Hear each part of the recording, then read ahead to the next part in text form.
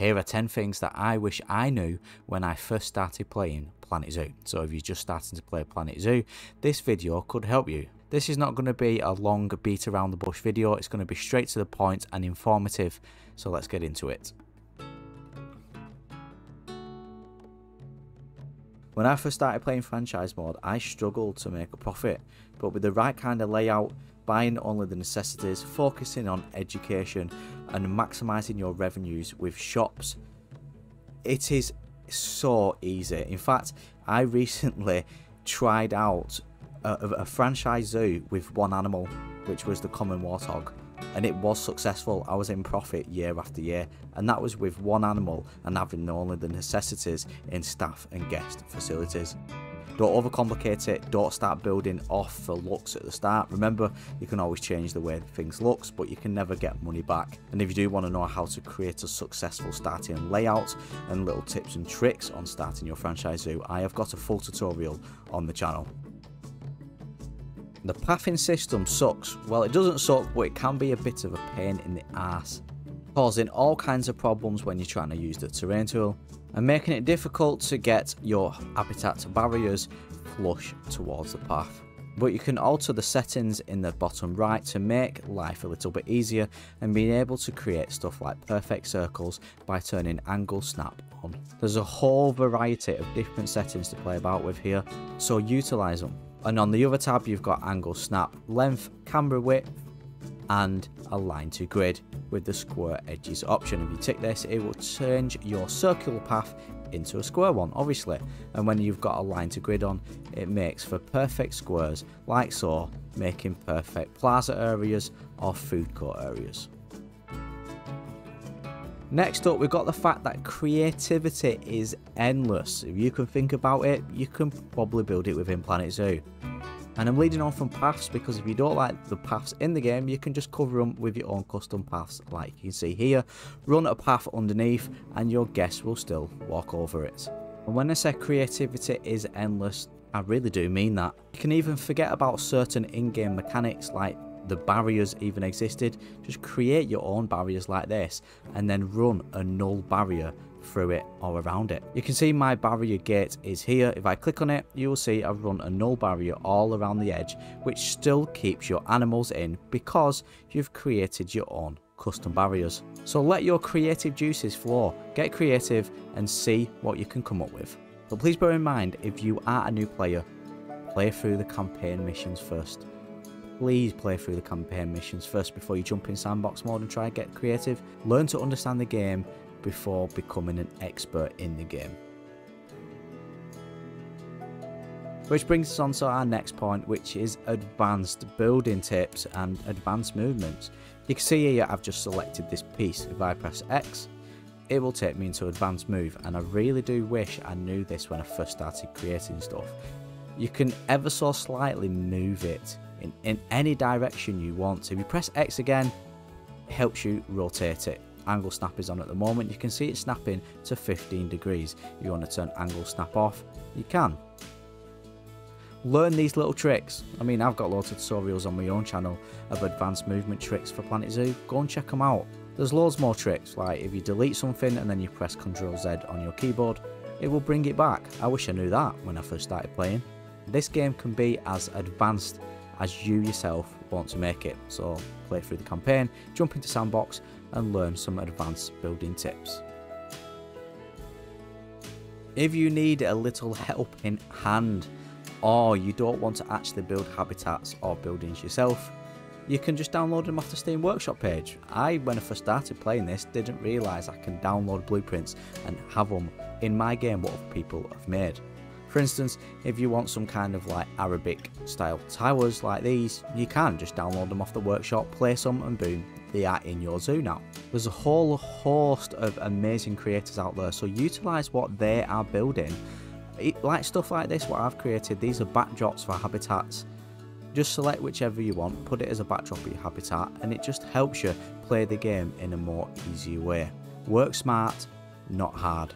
There's all sorts on there, from waterfalls to rock work to full on zoos. You can pretty much download anything. There's a lot of amazing creators out there. I mean, if you want even want this what I've created, a toilet roll stand in the shape of a toilet roll which sells toilet roll next to a toilet.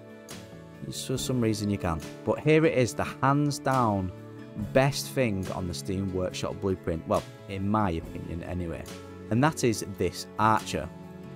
Now, you might be thinking, archer, it's just an archer, it's quite cool. No, it serves a purpose. This archer is the exact same size as your guest, which will be in your zoo. So this helps you create barriers and in-game custom barrier, like I mentioned with the custom barrier situation with advanced movement tips earlier. This will help so much because now you know where to go on scale. If you build a barrier what just goes underneath this archer's arms, it will look to scale when your guests enter your zoo. There's loads of different terrain tips and tutorials I can show you, but something what I didn't actually realise when I first started playing Planet Zoo is that you can recolour water. And now you can actually add bubbles and mist as well.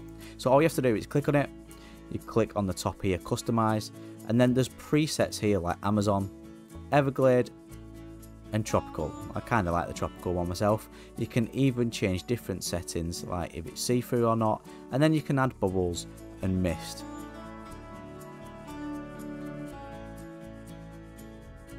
At number 7, when I first started playing Planet Zoo, this I don't think this existed, but that is Planet Zoo mods. That's right, if you didn't know, you can get all kind of animals what we don't currently have in the game, install them into the game, and then play with them. To do this, you just need to simply head over to nexusmods.com, create an account and log in. Search up Planet Zoo and you'll find all the mods for it. There's a whole mod community on here and a lot of brilliant modders do really good work and our fellow Planet Zoo players also from Planet Zoo animal mods to even game breaking mechanics. So if you do want aquatic animals and birds in Planet Zoo, you can do now. To get mods into your game, it's quite simple. Find the mod you want, click on manual download, download it into your computer files. Once it's downloaded, use an application like WinRAR to unpack it, copy it over and paste it into your OVL data file of Planet Zoo. To access the file, this is what you need to do. Go on your own Steam page and where it says Planet Zoo, you need to right click and then go on properties and this will open up the properties of Planet Zoo obviously. Go into local files and then go into browse. Now this will bring up the actual files itself as you can see here.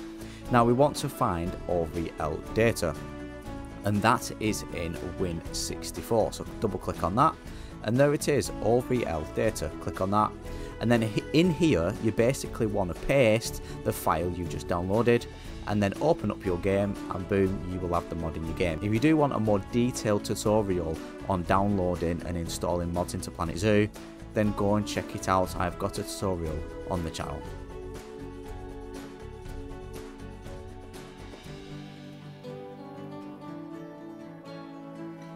Something what not a lot of people actually utilise and some of these settings are brilliant as well.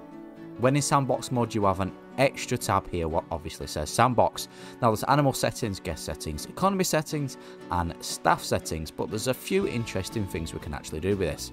If you really just want to get creative and build stuff, you can go into animal settings and turn pretty much everything off if you wish to do so. You've got stuff in here like animal welfare, animal death, animal illness, social group, overcrowded, injury fights, as well as the habitat welfare like the temperature, needs and the cleanliness. You can even choose to turn off protesters if you wish.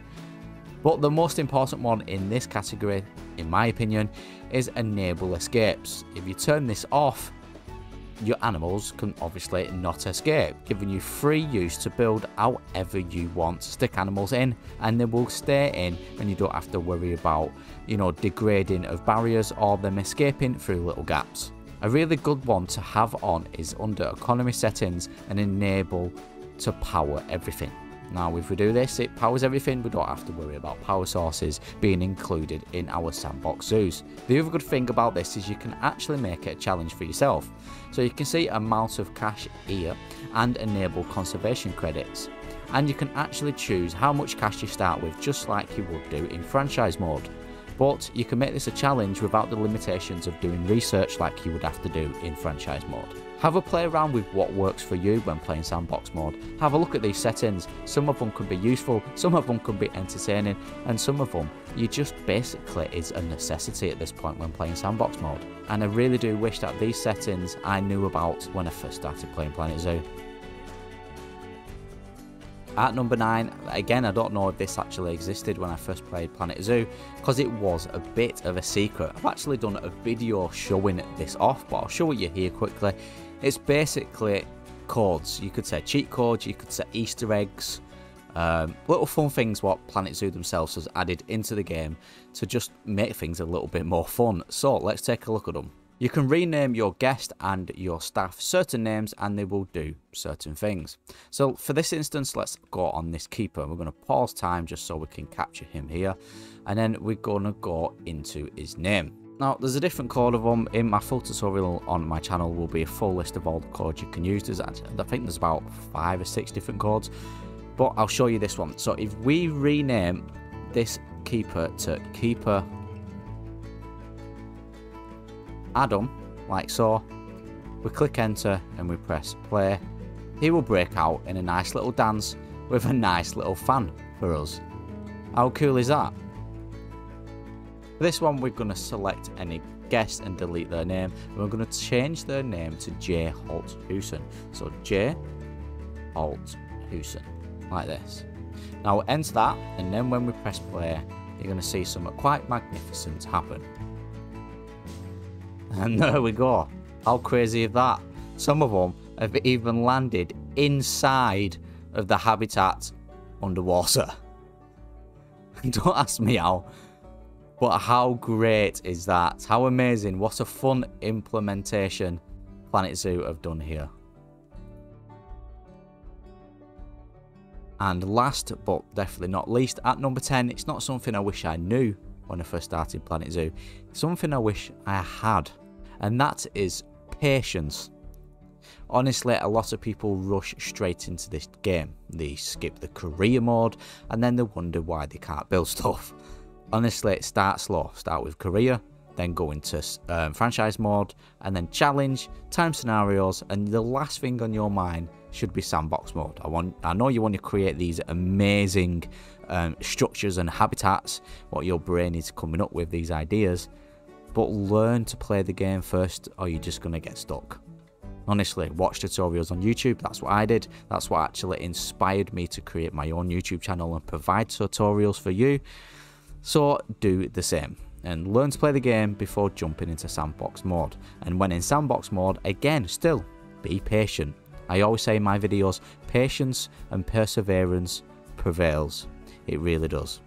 And with that being said, that concludes the 10 things I wish I knew when I first started playing Planet Zoo. My name's Adam, if you're new around here then hit that subscribe button. If this video did help or entertain you in any way then please hit that like button and I will catch you in the next Planet Zoo video.